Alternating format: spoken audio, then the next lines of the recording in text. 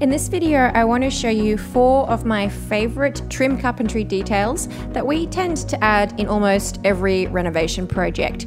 So these are things that I think really look nice and add value to a house and aren't that commonly seen around the place.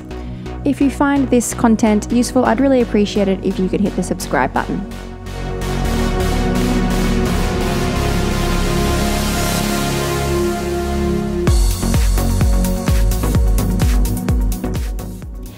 Hi, my name is Rachael Turner, and I'm a licensed and registered builder in Brisbane. And I'm passionate about modern homes with a storybook charm. Let's get stuck into the first detail. Number one is balustrading, and we do several different types of balustrading. We do one that I call a chunky American style balustrading, and this one here, which is more of a finer, prettier style balustrading with two skinnier balusters closer together. And then this is another common one of ours as well, the cross style balustrading. But we're just going to run you through our most commonly used one, which is the chunky American style primed pine here and it's the 90 by 40 mil we use for the top plate and the bottom plate and then we use these 42 by 42 mil for the balusters. I like to use this 42 by 42 mil because it's, it's, you know it's chunkier than the normal slats that you see on Queenslanders. It just creates a different look. You don't really see this in Brisbane.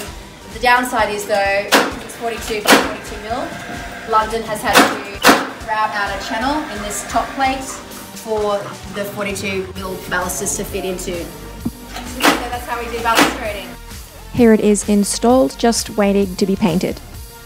And this fretwork is actually exactly the same thing as the balustrading, but just a mini version. Generally, we do these about 200 or 250 mil high.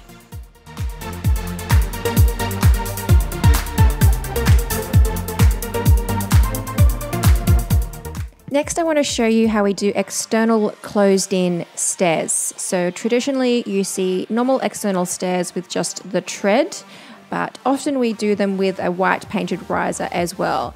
This gives them a more sophisticated look, means you can't see through and underneath the staircase, and it's also a really American style look as well.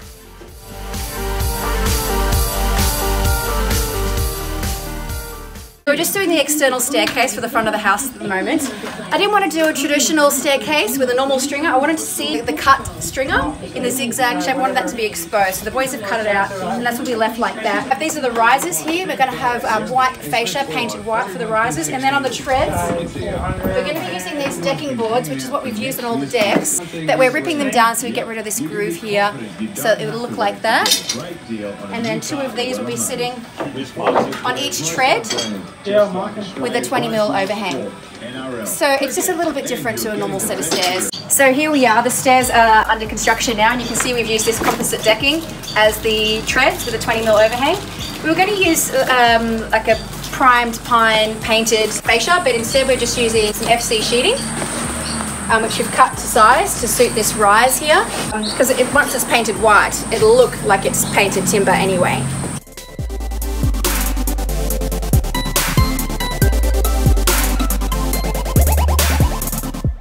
Next is shingles. Shingles are very common in America and they are often used to clad the entire home. Here in Australia, shingles are a little bit on the expensive side per square metre, so it's not really feasible to clad a whole house, but perhaps it's a nice idea to use them in small areas. For example, your little uh, gables or your decorative porticos. So I'll give you a quick tutorial on how we do that. You can see one of the finished gables up there. And so now we're just putting shingles on this carport.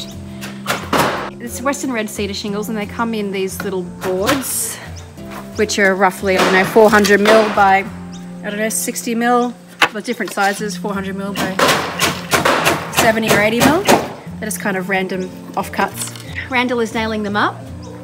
Is it because of expansion that you're leaving that gap there, Randall? Yep. And because you can see the blue house flap behind it, so we'll have to do double layer for the first for the first row here. I'm not sure if you can see about Randall's drawing, just a little string line there, just so that we can keep that bottom edge all straight. And just working back the other direction now. It's overlapped here so that we don't see the blue house wrap And then once we finish that row, then he'll be able to start the second row about 100 mil higher, and then the third row about 100 mil higher again. And so here's the finished product.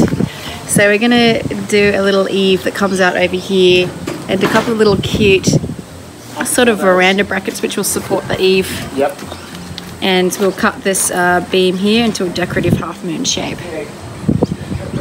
So anyway, that's how you install cedar shingles. The last thing I want to show you is our farmhouse style architraves. I love using these because I just think they look uh, quite uh, sophisticated and expensive and make the door and window frames look really chunky. So all it is is the top and the bottom piece is just a piece of 42 by 19 mil primed pine laid on its side and then the piece underneath the top piece is a 31 by 19, again laid on its side, and then in the middle you could use either a 90 by 19 or for a chunkier look, a 120 by 19 and just laid flat as normal. And that's basically all it is.